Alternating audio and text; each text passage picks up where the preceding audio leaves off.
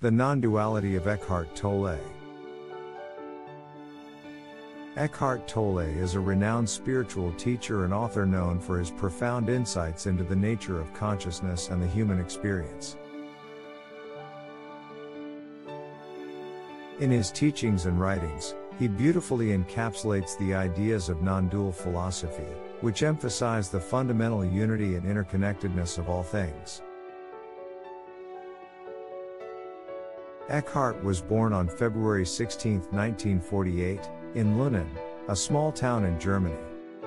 His birth name was Ulrich Leonard Toll. His surname can be pronounced the German way, as in Toll, or more commonly pronounced as Tolle.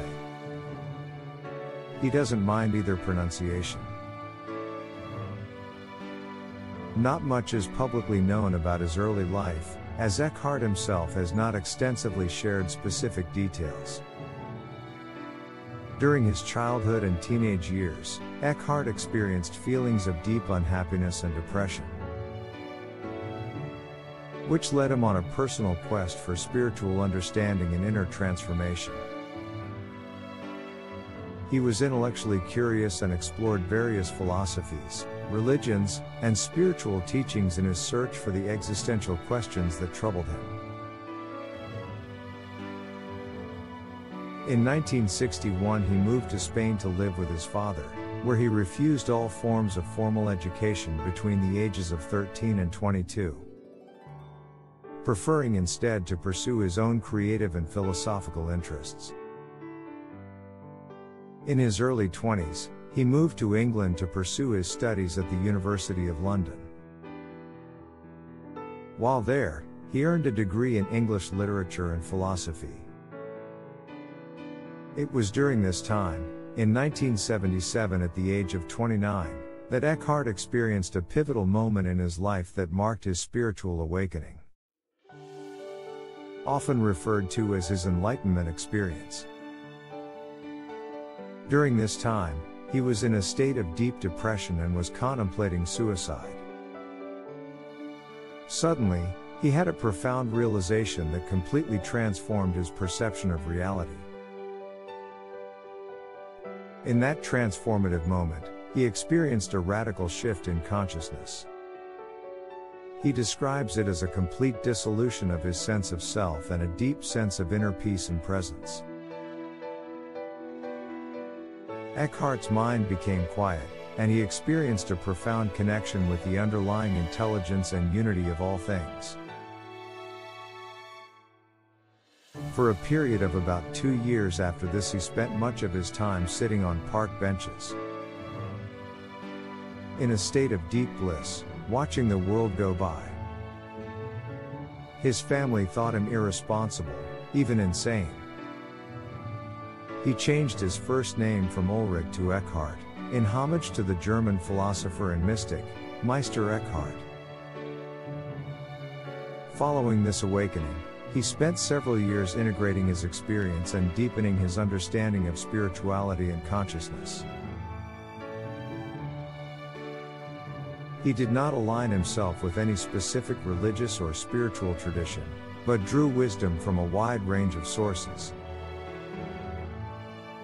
including Buddhism, Zen Buddhism, Hinduism, Advaita Vedanta, Taoism, Christianity, and various mystical teachings.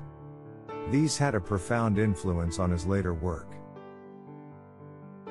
In 1995, after visiting the west coast of North America several times, Eckhart settled in Vancouver, British Columbia.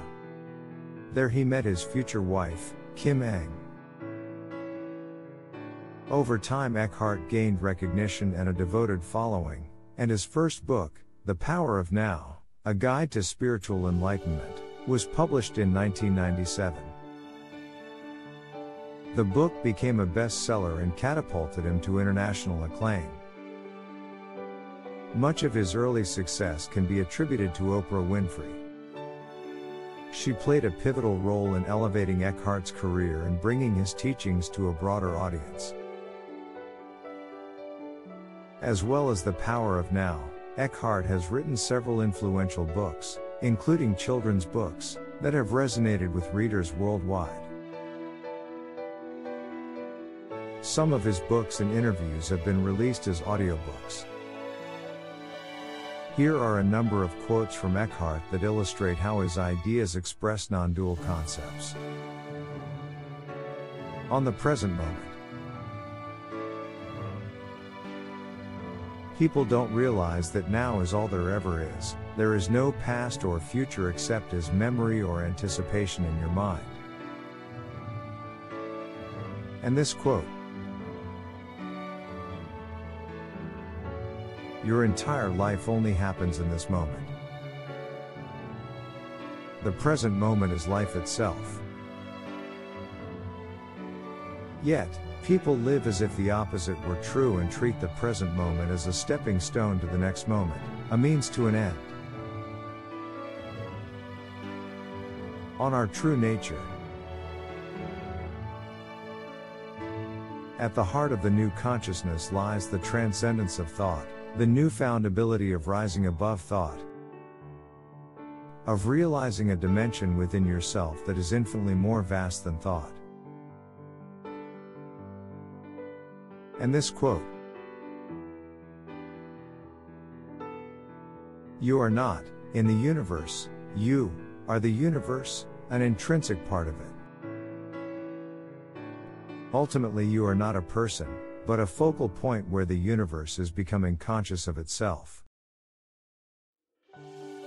What an amazing miracle! On the illusory nature of the ego. All the misery on the planet arises due to a personalized sense of me or us.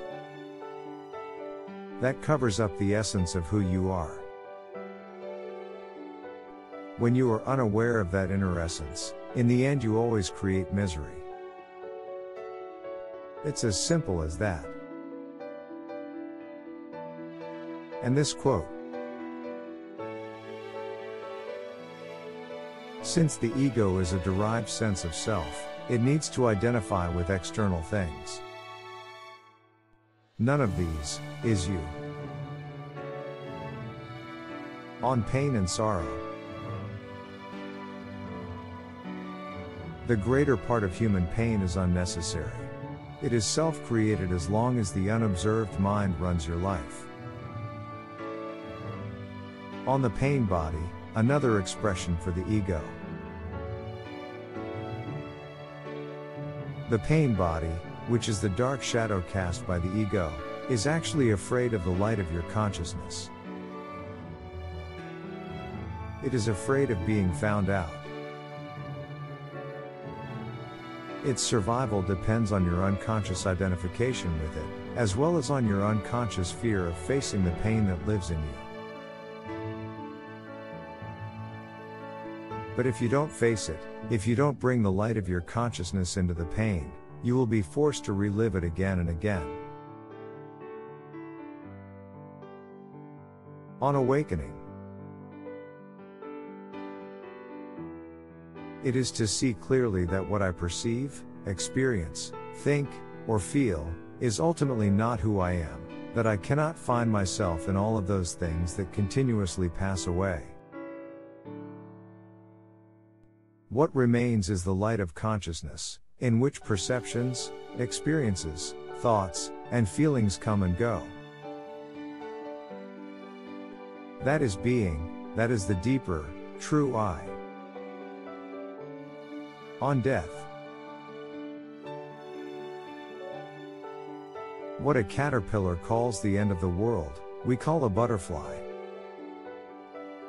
And this quote In the face of death, especially violent death, things don't make sense anymore.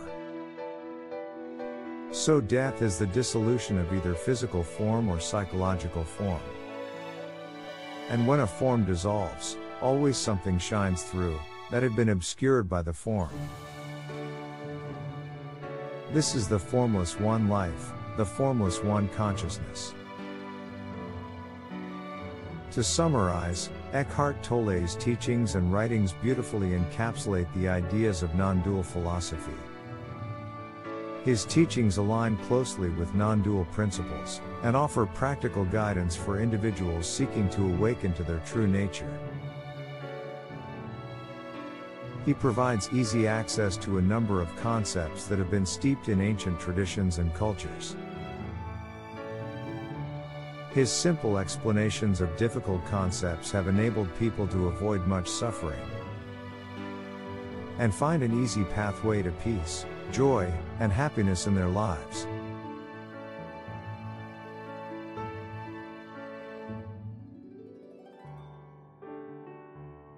Thanks for watching.